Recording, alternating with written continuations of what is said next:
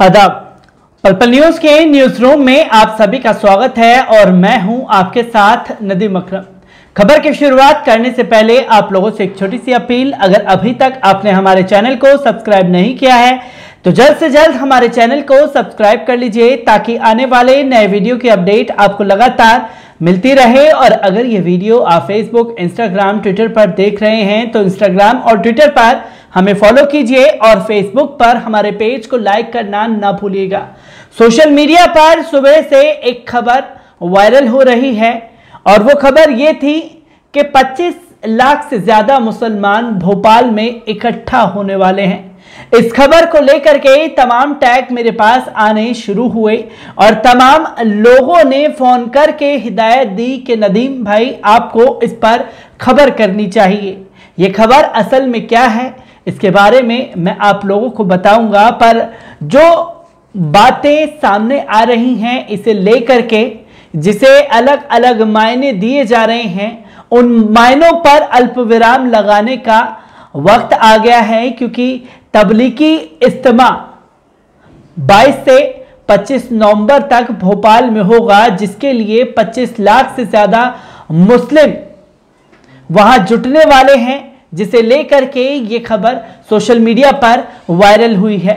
पर इससे पहले इन छह पॉइंटों पर बात करूँगा। उससे पहले क्या है पूरा मामला, उसके बारे में जान लेते हैं। भोपाल में होने जा रहा है तबलीगी जमात का इज्तमा। एक खबर के अनुसार इस इज्तमे में करीब 25 लाख मुस्लिम शामिल हो सकते हैं। दुनिया के पाँच बड़े इस्लामिक आयोजनों में से एक आलमी तबलीगी इज्तमा के पहले दिन सामूहिक निकाह होंगे। इसके लिए रजिस्ट्रेशन की प्रक्रिया कागजात में शुरू हो चुकी है।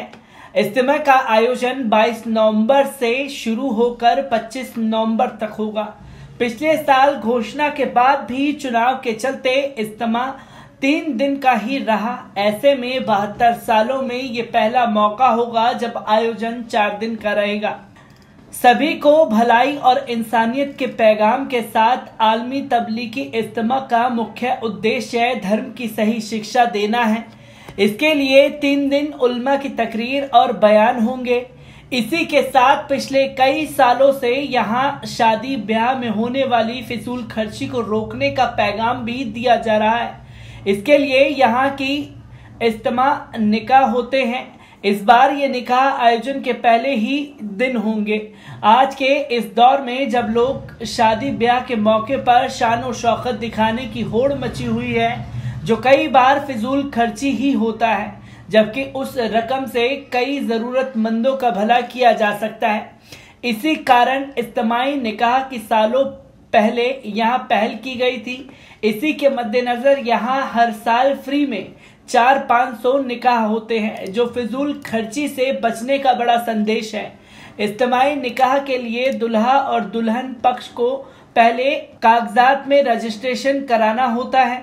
इसके बाद उनका नाम सूची में शामिल कर लिया जाता है। इसकी प्रक्रिया अभी जारी है। आपको बता दें कि इस साल इज्तमा का ये बहत्तरवा आयोजन होगा।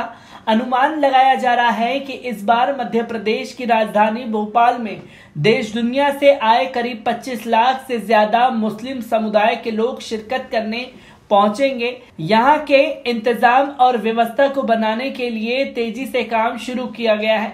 इज्तमा की व्यवस्थित बनाए रखने के लिए मुस्लिम समुदाय के हज़ारों लोगों के साथ साथ प्रशासन का भी बड़ा योगदान रहता है। तो दोस्तों, आपने देखा कि तबलीगी इज्तमा 22 से 25 नवंबर तक भोपाल में होने वाला है, जिसमें 25 लाख से ज़्यादा मुसलमान जुटेंगे और वो संख्या बहुत ज़्यादा होगी। इसलिए उसके पुख्ता इंतज़ाम महाराष्ट्र प्रशासन ने पूरी तरीके से कर लिए हैं तो वहीं मुस्लिम तंजीमें भी इसको पूरी तरीके से सफल बनाने में लग चुकी हैं।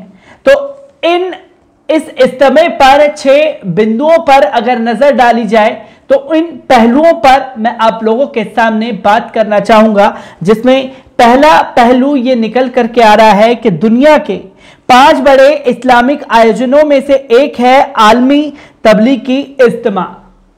ये दुनिया के पाँच बड़े इस्लामिक आयोजनों में से एक होता है, जिसमें हर साल तबलीगी इज्तम करवाया जाता है, जिसमें ज़्यादा से ज़्यादा संख्या में लोग जुटते हैं और एक एकता का पैगाम दिया जाता है क्योंकि नफरत भरे माहौल में आजकल नफरत जिस तरीके से लोगों के सामने परोसी जा रही है तो वहीं इज्तमे के ज़रिए एक एकता का पैगाम और मोहब्बत का पैगाम देने की कोशिश हर साल की जाती रही है। तो वहीं अगर बात की जाए दूसरे पहलू पर तो यह 22 से 25 नवंबर तक चलेगा। 22 से 25 नवंबर तक भोपाल, पूरा भरा हुआ रहेगा, क्योंकि 25 लाख से ज़्यादा मुसलमानों की आने की संख्या है, जो देश से ही नहीं, बल्कि दुनिया से भी वहाँ पहुँचेंगे और इसमें एक से बढ़कर के एक आलिम शिरकत करेंगे, जो दुनिया में एक मोहब्बत का पैगाम देने की कोशिश करेंगे। तो वहीं अगर तीसरे पहलू पर आप लोगों की नज़र डालूं तो बहत्तर सालों में यह पहला मौका है जो चार दिन चलेगा। क्योंकि बहत्तर साल की अगर बात की जाए तो इस्तेमाल ज़्यादातर तीन दिन तक के लिए होता था। तो ये इज्तम पहली बार होगा जो चार दिन तक चलेगा, जिसमें 22 से लेकर के 25 नवंबर तक हर वो बातें बताई जाएँगी जो इज्तमे में होती आई हैं। तो वहीं अगर बात की जाए, इसमें पहले दिन पर 400-500 से ज़्यादा शादियाँ करवाई जाएँगी।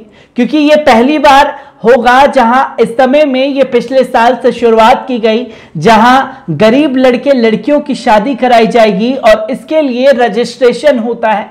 और इस रजिस्ट्रेशन के ज़रिए मिलाप होता है और शादी कराई जाती है, जिसमें तमाम आलिम लोग शिरकत करके उन जोड़ों को नेक दुआओं से नवाजते हैं जो उसके असली हकदार होते हैं।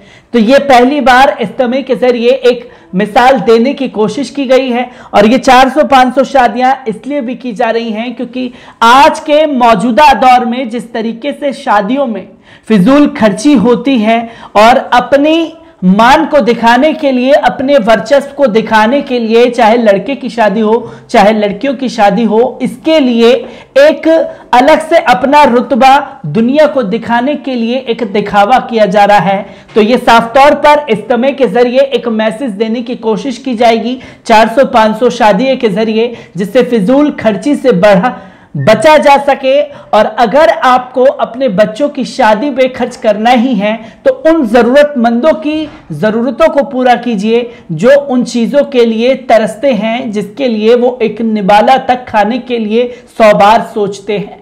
तो ये तबलीगी इज्तमे से एक बहुत बड़ा पैगाम देने की कोशिश की जाएगी, जिससे दुनिया भर में उसकी तारीफ़ होती हुई दिख रही है।